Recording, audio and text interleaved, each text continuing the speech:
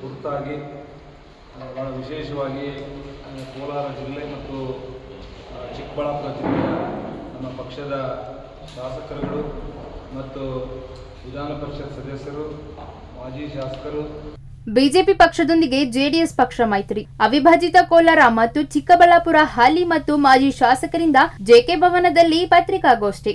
ಅಧ್ಯಕ್ಷರಾದ ದೇವೇಗೌಡರು ಮತ್ತು ನಮ್ಮ ನಾಯಕರಾದಂಥ ಕುಮಾರಸ್ವಾಮಿ ಅವರು ಮತ್ತು ನಮ್ಮ ಪಕ್ಷದ ರಾಜ್ಯಾಧ್ಯಕ್ಷರಾದಂಥ ಸಿ ಎಂ ಇಬ್ರಾಹಿಂ ಅವರು ಮತ್ತು ನಮ್ಮ ಕೋರ್ ಕಮಿಟಿಯ ಅಧ್ಯಕ್ಷರಾದಂಥ ಶ್ರೀ ಜಿ ಟಿ ದೇವೇಗೌಡ ಇವರ ಒಂದು ನೇತೃತ್ವದಲ್ಲಿ ಅವರು ನಾವು ಎಲ್ಲರ ಅಭಿಪ್ರಾಯಗಳನ್ನು ಏನು ಪಡ್ಕೊಂಡಿದ್ರು, ಅವರು ಎಲ್ಲರ ಸಮ್ಮುಖದಲ್ಲಿ ಚಿಂತಾಮಣಿ ನಗರ ಹೊರವಲಯದ ಬೆಂಗಳೂರು ಕಡಪ ರಸ್ತೆಯಲ್ಲಿನ ಮಾಜಿ ಶಾಸಕ ಜೆಕೆ ಕೃಷ್ಣಾರೆಡ್ಡಿ ಅವರ ಜೆಕೆ ಭವನದಲ್ಲಿ ಅವಿಭಜಿತ ಕೋಲಾರ ಮತ್ತು ಚಿಕ್ಕಬಳ್ಳಾಪುರ ಜಿಲ್ಲೆಯ ಹಾಲಿ ಶಾಸಕರು, ಮಾಜಿ ಶಾಸಕರು ಸೇರಿದಂತೆ ಮಾಜಿ ಶಾಸಕ ಜೆಕೆ ಕೃಷ್ಣಾರೆಡ್ಡಿ ಅವರ ನೇತೃತ್ವದಲ್ಲಿ ಹಮ್ಮಿಕೊಂಡಿದ್ದ ಪತ್ರಿಕಾಗೋಷ್ಠಿಯನ್ನು ಉದ್ದೇಶಿಸಿ ಮಾಜಿ ಶಾಸಕ ಜೆಕೆ ಕೃಷ್ಣಾರೆಡ್ಡಿ, ಹಾಲಿ ಶಾಸಕರಾದ ಶ್ರೀನಿವಾಸಪುರ ಜೆಕೆ ವೆಂಕಟಶಿವಾರೆಡ್ಡಿ, ಶಿಡ್ಲಘಟ್ಟ ಶಾಸಕ ಮೇಲೂರು ಬಿಎನ್ ರವಿಕುಮಾರ್, ವಿಧಾನ ಪರಿಷತ್ ಸದಸ್ಯ ಎಂಚರ ಗೋವಿಂದರಾಜು ಮತ್ತಿತರರು ಮಾತನಾಡಿ, ದೇಶ ಹಾಗೂ ರಾಜ್ಯದ ಹಿತದೃಷ್ಟಿಯಿಂದ ಜೆಡಿಎಸ್ ಪಕ್ಷದ ನಮ್ಮ ವರಿಷ್ಠರ ಆದೇಶ ಹಾಗೂ ತೀರ್ಮಾನದಂತೆ ಮುಂಬರುವ ಎರಡ್ ಸಾವಿರದ ಇಪ್ಪತ್ನಾಲ್ಕರ ಲೋಕಸಭಾ ಚುನಾವಣೆಯಲ್ಲಿ ಬಿಜೆಪಿ ಪಕ್ಷದಿಂದ ಮೈತ್ರಿ ಮಾಡಿಕೊಳ್ಳಲಾಗುತ್ತಿದ್ದು, ಜೆಡಿಎಸ್ ಪಕ್ಷ ಬಲಿಷ್ಠವಾಗಿರುವ ಕ್ಷೇತ್ರದಲ್ಲಿ ಜೆಡಿಎಸ್ ಪಕ್ಷಕ್ಕೆ ಬಿಟ್ಟುಕೊಡುವಂತೆ ಎರಡು ಪಕ್ಷಗಳ ಹಿರಿಯ ನಾಯಕರು ಈಗಾಗಲೇ ಮಾತುಕತೆ ನಡೆಸಿದ್ದು,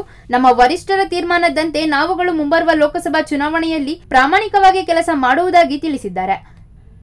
ಮೇ ತಿಂಗಳಲ್ಲಿ ನಡೆದಂಥ ಕರ್ನಾಟಕ ವಿಧಾನಸಭಾ ಚುನಾವಣೆ. ಆ ಚುನಾವಣೆ ಆದ ನಂತರ ಇಡೀ ಕರ್ನಾಟಕ ರಾಜ್ಯದಲ್ಲಿ ಬಹಳಷ್ಟು ಮುಂದಿನ ರಾಜಕಾರಣದ ಬಗ್ಗೆ ಬಹಳಷ್ಟು ಧ್ರುವೀಕರಣ ಆಗುವಂಥದ್ದು ಮತ್ತು ಬಹಳಷ್ಟು ಜನರ ಚಿಂತನೆ ಆಗಿದೆ. ಆದರೆ ಚಿಂತನೆಗಳು ಮಾಡ್ತಾ ಇತ್ತು ಅಂಥ ಸಂದರ್ಭದಲ್ಲಿ ಮೊನ್ನೆ ಇದೇ ತಿಂಗಳು ಆರನೇ ತಾರೀಕು.